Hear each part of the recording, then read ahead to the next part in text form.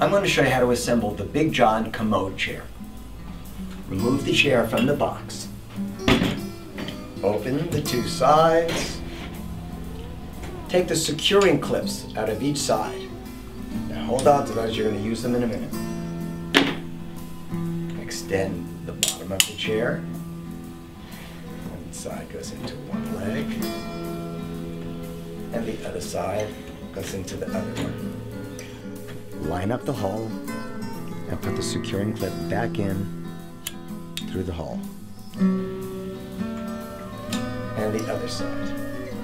Now we're going to install the Big John toilet seat to the commode chair. Take the seat out of the box. It includes a hinge pack.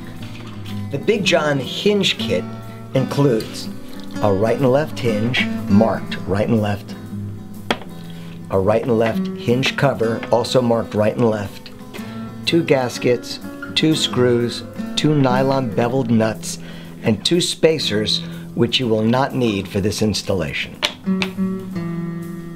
Take the Big John toilet seat.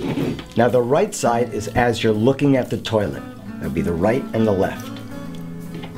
Take the right hinge, marked right, and put it through the seat into the lid. And the same on the left side. Through the seat into the lid. And then place it on the commode chair.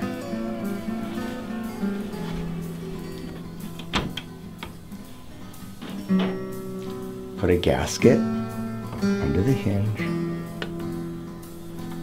and put the screw right through the hinge into the chair and do the same on the other side.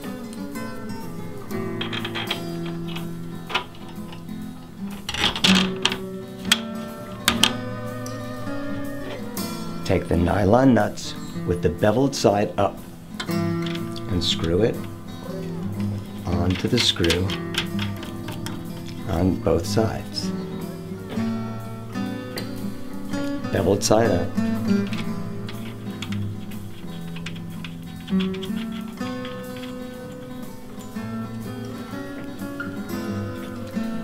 Take the hinge covers and slide them onto the right and to the left.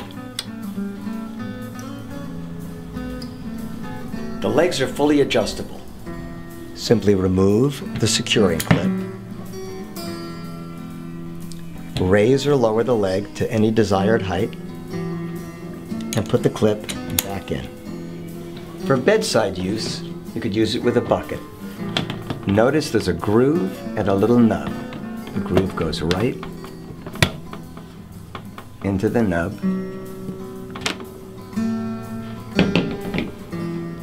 and you're good to go. For easy cleaning, the lid goes on. When the handle is raised, it locks the lid in place for easy cleaning. For further reference, please consult the installation instructions that are included with your purchase.